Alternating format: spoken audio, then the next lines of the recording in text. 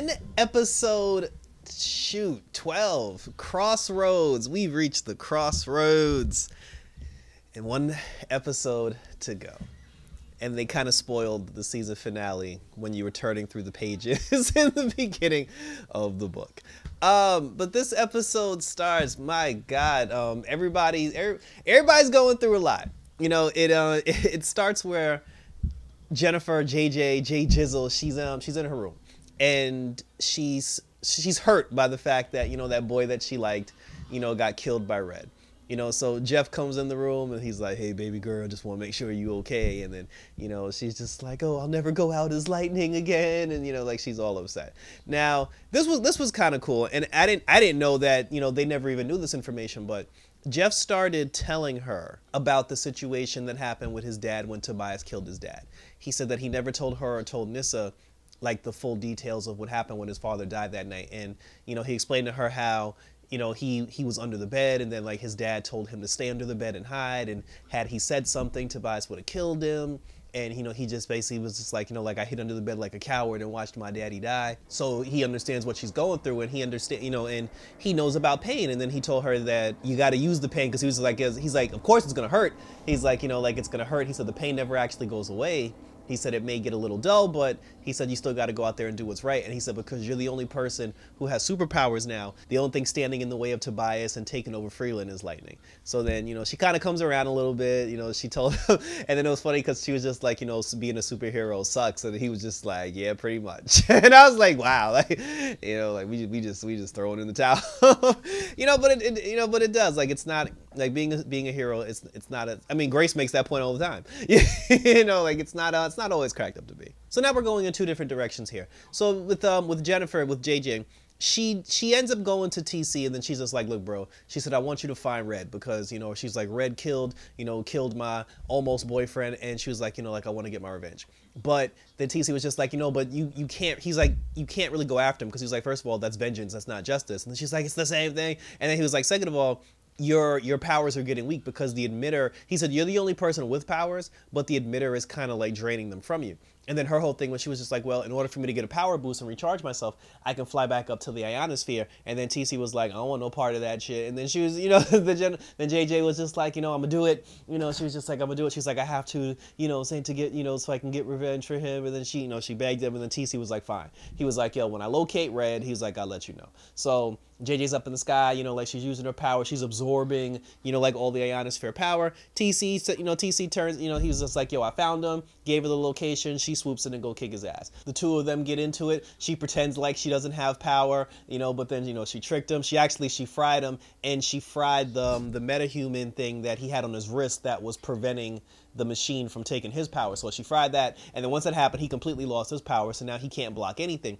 So now that he doesn't have power, he was just like, "Oh, I surrender. You got me. Don't kill me." And then she was just like, "After you killed, you know, I forgot the boy name, but she is like Jaya or something like that, Haraya or something like that. She was just like, after you killed him, she was like, "You got the nerve to ask for mercy?" And then he was like sniveling like a little bitch. And, and then and then TC was on comms. He was like, "So what you gonna do?" You know what I'm saying? It's like you gonna you gonna take a life or you know you gonna do the right thing.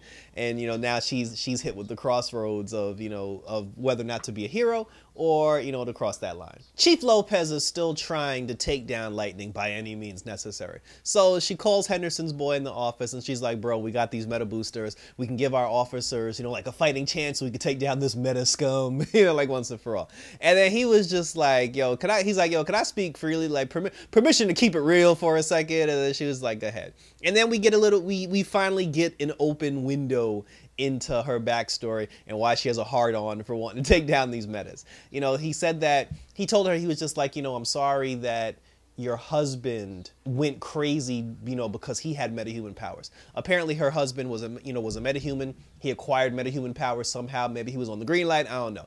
But because the, he, they said that his metahuman power drove him crazy. And when they said that, when they were just like, oh, his metahuman power drove him crazy, that's when I started thinking like, well, shit, maybe he was on green light because I, I believe green light was doing that to people. Like, it was making people like, it wasn't just giving people superpowers and that was it. Like, green light was actually making people like lose their shit. He then said he was like, you know, like, I'm sorry that, you know, your husband's metahuman power, like, in the end made him go crazy to the point where he murdered all of your brothers. Because apparently she had like brothers you know um, he said brothers with an s so it was obviously more than one. And her husband killed all of them and i guess he killed himself. I don't even know where her they i don't even remember they said where her husband was now so lord knows where he at. But basically like metahuman powers destroyed her entire family. So now she's just like she wants to take down everybody who has metahuman powers or at least the ones that can't be trusted.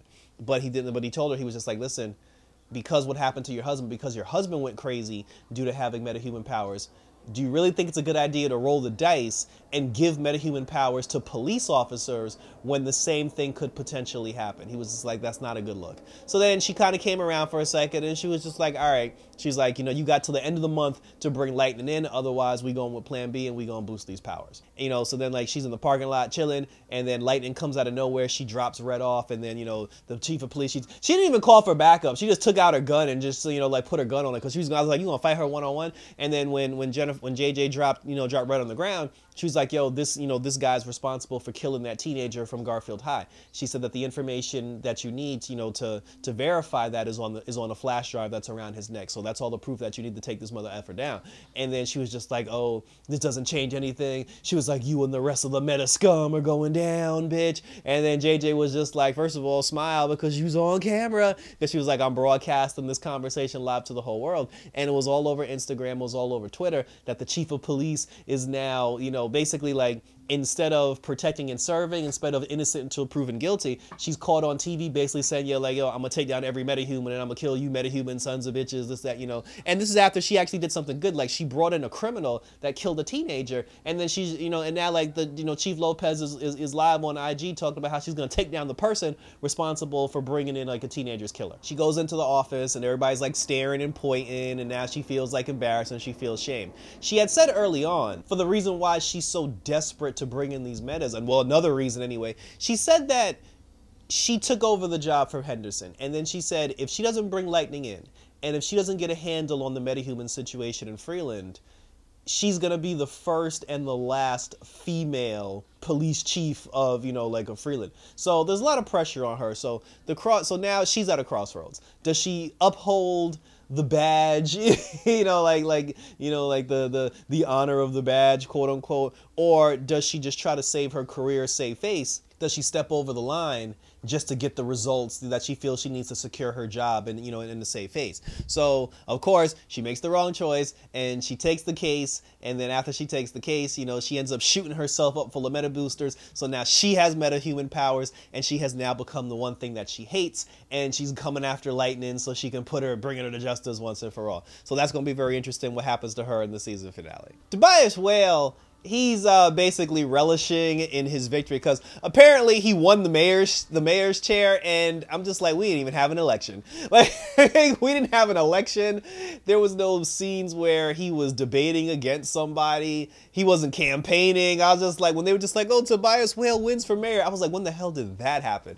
But anyway, so he calls the Shadow Council, and he's like, I just won for mayor, so now I could take a seat at the council. And they're just like, no, because you they said you taking a seat in the shadow council you know was only going to happen had you taken care of the metahuman problem and from what we see lightning is still out there so because lightning is still out there you didn't take care of the metahuman problem so you being mayor means nothing and your application to join the shadow council has been denied and then tobias is like i thought you'd say that and then he snapped his fingers and then one of his metahuman assassins basically ran up on that one white dude and like choked him out and killed him so then he said to the rest of the Shadow Council, he was just like, yo, y'all can, he's like, yo, one snap of finger, y'all can either join him or y'all can basically take a knee and bow down to the new King of Freeland. And, and of course, you know, the Shadow Council bow down. And then Tobias Whale, he's like, Tobias Whale's now on top and now I'm running things. He then sends a letter to Jeff, basically asking Jeff to sign over the deed and the rights to his dad's house. And I'm still trying to figure out why it's so important to get his hands on like he did like I know he said something about wanting to build like a hospital or a meta center or something like that. Like he wants to build a center where they basically like, you know, harness metahuman abilities. He wants to create like a facility that does that.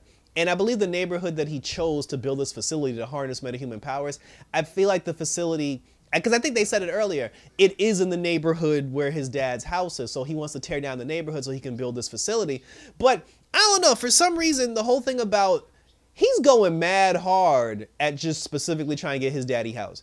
And I feel like there's more to it than that. And I thought there'd be more to it than that, but apparently, you know, it, it so at, at, least so far, like apparently there wasn't really nothing more to it. So Jeff now he's you know he's trying to come up with a way. He's just like, listen, Tobias wants me to sign the deed. Jeff had said earlier he was like, yo, remember when I you know I used my powers to take away the short-term memory of those police officers when I blew up their car? He was like, yo, we could do the same thing to Tobias and we can wipe his memory clean. So Lynn and Gambi they came up with this device and then Gambi told him, he was like, yo, you take this device, you place it at the back of his earlobe, his temple or whatever, and then it should erase his short-term memory. So then Jeff was like, all right, I'm gonna go down there. He calls Tobias and he's like, yo, I'm gonna sign the deed, you son of a bitch. He was like, yo, just, and then Tobias was like, yo, meet me at your daddy house, you know, so we can finish this once and for all. So he's just like, all right, you know, Gambi's just like, oh, I'm going with you. And then Jeff was like, no, he was like, I'm gonna finish this. And then he's just like, you know, it ends tonight with me and Tobias one way or the other. He then goes to Lynn and tells Lynn that he updated his will. So I'm like, that's not, I'm like if you were trying to keep this whole thing from your family about like you know going down to face Tobias one on one. I'm like that's obviously foreshadowing that this might not go the right way. So he gives her his updated will, and then he apologizes to Lynn for everything that she put him through. She apologizes to him for everything she put him through, and then the two of them kiss and they hug and embrace. And I'm like, thank God. like it took us four seasons. It took us four seasons and 12 episodes to get here, but the two of them are finally on the same page. Like amen to that. You know, and then now now Jeff's on his way down to go, you know, to, to go confront Tobias Whale and put a stop to this once and for all. Gambi and the girl that he banging, I, I can't remember her name. like the two of them, along with Grace and Nissa, they find the facility that Tobias is using currently to, to, to, where he where I guess where he's holding the metahuman DNA that he that he extracted from those babies. So now that they found now that they found that facility, Grace and Nissa, they, they went down there along with TC on comms. They go down there. Gambi gives them a device where they basically blew up the entire facility and they wiped you know, like every they, they wiped like all the metagene information and everything clean. Grace and Nissa got into a little conversation over because they were just like, you know, after we blow up this facility, you know, Nissa was just like, we should tell the moms that all their babies got their, you know, their metahuman DNA removed from them. And then Grace was like, why would we do that? She was like, first of all, they didn't know anything about it. They have no, they had, they had no thought or motion or notion in their mind whatsoever that their babies were metahumans anyway. So why would we even tell them that information and create a scene out of nothing? Like sometimes, so like sometimes if something happens as long as like no, no, there was no harm done, no harm, no fouls. Like sometimes it's uh, t- take it from me. Sometimes it's better you just keep your mouth shut, continue to do the right thing and move on. It's like why create a problem that's not there. So you know, but then you know Nissa they kind of went back and forth on it, and I agree with Grace. You know, it's like I agree with Grace, and then Nissa finally came through and she was like, "All right, babe." She was like, "Yo, we just gonna keep our mouth shut." And the fact that they had that conversation, I feel like someone's gonna find out now. It's gonna turn into this whole big thing. you know, then Gambi had brought um had, had brought Lynn over, and then Lynn and I'm, I'm just gonna call her Gambi girlfriend. Like Lynn and Gambi's girlfriend, like the two of them sat down so they could find the machine, the emitter, so they can destroy the emitter, so the metahumans can get their powers back. Both her and Lynn had a nice conversation. You know, Lynn basically was just like, listen, she was like, Peter Gambi, I trust him with my life, and if he trusts you, then I trust you. And then she told the girl, she told the woman, she was like, listen, she's like, you know, my family are metahumans, and you know, we're trying to save our family from Tobias Whale. So you know, so she was just like, all right, she was like, you know, she said, I kind of figured out. She said, I kind of thought about it. I put certain pieces into play, but she was like, thank you for sharing, you know, sharing that information with me. And now I'm kind of like, now that she knows that the Pierce family are metahumans, I hope she doesn't turn into a bad guy because I was like, like in the beginning when she first stepped on the scene, I ain't trust her ass. When she came out of the limo with that tight white dress, I was just like, nah, she she uh, I was like, nah, she she she a villain. You know, I felt better when come to find out she wasn't a villain. She just want like she said she said i just wanted to create clean energy for freeland and to help people. And i was like okay cool. Finally someone that's not an a-hole like somebody who's just like generally trying to do the right thing. And now that she knows the pierce family secret i'm like please don't turn this girl villain. I was like just let her be happy. Just let her be the good person that she's been and let's move forward. So that says so now like her and Lynn they're working together and they're trying to find the device so they can uh, like I said so they can turn it off so you can get her device back and then the metahumans can once again you know like reclaim their powers. And now good old Khalil, Khalil, Khalil, Khalil's still bringing Looker to Freeland. And this was a funny scene because Khalil's driving, he got the hip hop music bumping, and then Looker's like, "Oh, can you turn that jungle noise down?" I'm like, "Bitch, I hate her." and then you know he was she, she was like I prefer more treble than bass, and then you know the the painkiller's like I prefer to put my foot up your up your pasty white. like it was it was just like she she like the actress that's playing Looker. It, I love the di- I love when the painkiller show starts. I hope she shows up on painkiller. That's all I'm gonna say. So then while they're and then you know then like Khalil and Painkiller they were arguing back and forth about what to do with her, and then you know Khalil told her he looked back and he was just like, first of all, he said you don't need the use of your arms, your legs, or your eyes to testify against Tobias Whale. So are you gonna be quiet, or you know, so so we can get this done, or what, what what's the deal? And then she's just like, fine, you know. She's like, you know, so she sat, but she rolled her eyes, she sat back, and then then the painkiller looked over at Khalil. He was like, thank you. Now turn my shit back. that was just that was just a really that was a really good scene. Like I like I like that whole thing. And then while they're driving, the car gets stopped. And then when the car gets stopped, you know, it's uh it's Ishmael, Ishmael. And I was just like, okay, here we go. Ishmael pulled up and he was just like, yo, Tobias Whale contracted me to kill you and the white girl. So she was just like, oh my, you know. And then Khalil looked, and then it's like Khalil looked at Ishmael and then he's just like he he turned to painkiller. He's like, yo, I ain't got time for this shit, he's he's like, yo, bro. He's like, like, because there's always a situation where Khalil is just like, yo, I got this, I got this, I got this. This is the one time he was like, look, ain't nobody like. He's like, yo, just take the wheel, man. so then the two of them get into it, which is which was a cool fight, very dope fight. It was a lot shorter than I would have liked it to be, but it was it, it was a very good fight scene. I I definitely enjoyed it, and you know, in the end, because they, they were they were trading blows back and forth. Like it was kind of an even matchup to an extent, but in the end, when you know when Ishmael tried to you know he tried to basically like cut Khalil's head off with the sword. When he tried to strike Khalil with the sword, you know, Painkiller, you know, he caught the sword. And then when he caught the sword, like his hand started bleeding and the blood started pouring down the sword and all over Ishmael's hand. And then Ishmael even said he was just like, yo, you good, but you wasn't good enough to touch my body with your poison. And then he was like, dude, like I didn't actually have to touch your body in order to hit you with the poison because with the blood on the sword going down his arm, he poisoned his body with the touch of the blood. And then after that, the blood got into Ishmael's system. Then Ishmael basically died. Before he died, he was like, you cheated, motherfucker. and then he like and then he tipped over and then like he died. And I was like, damn, like they killed him in the they killed him in the episode before the season finale, which says to me Khalil's gonna have a bigger fight in the season finale because I thought his big fight was gonna be him versus Ishmael, but apparently that apparently he's got something else going on. So we'll um we'll we'll, we'll maybe maybe I mean no like Tobias would end up having to fight Jefferson. You know Henderson's boy, the police they showed up. Even the guy that got whammied by Looker, he showed up. They took Looker into custody and they were just like you know she's gonna testify against Tobias Whale, you know about all the stuff that he did. And then after they put her in the car and then like the police drove away, Painkiller said to Khalil, he was just like, yo, you know, Freeland's like down the street. He said we can. He said we got a lot of unfinished business. And then Khalil was like, nah. He was like, yo, there's nothing for me in Freeland. You know, let's just go home. And then Painkiller rolled his eyes. And the see the reason why I feel like that that happened. The reason why I feel like that scene happened the way it did because when Painkiller said they have unfinished business, it was implied that they were talking about Tobias Whale. But we have to keep in mind, Painkiller still has the kill order to kill the Pierce family. So when he was like, we got unfinished business, I'm like, are we talking about the Pierce family? Or are we talking about Tobias? But Khalil was smart enough to not take the chance between the two. So he was just like, nah, we don't need to go to Freeland at all. But obviously, he's still going to show up. He's going to feel bad at the last second. He's like, yo, let me just save the Pierce family. So he's going to go down there and watch. Khalil's to do something very cool where he's to save somebody or everybody in the Pierce family. He's to he's to run up to save the day. And then after he saves the Pierce family, Painkiller's to take over and try to kill their ass. so that's a so that's a that's a that's a season that's a series finale prediction right there. Like I said, but then you know like the Looker's going and now Khalil he's he's hitting the crossroad. He has a crossroad now as to whether or not he should go to Freeland or he should take his behind back to his virtual cool city that he's to be in on his own show. And then finally, Jeff gets to the house. You know, he has the device to take away Tobias's memory. He's talking to Tobias Whale, and then he's just like, "Yo, here are the papers." He's like, "All you got to do is sign them." And he's like, "Really, Jefferson?" He's like, "No grandstand, no last gesture, no one last attempt to take down Tobias." And he was just like, "Look, you done took everything from me. You done ruined my name. You done took my, you done took my money. You know, you done, you done shamed my family." He's like, "Yo, just sign the damn papers." you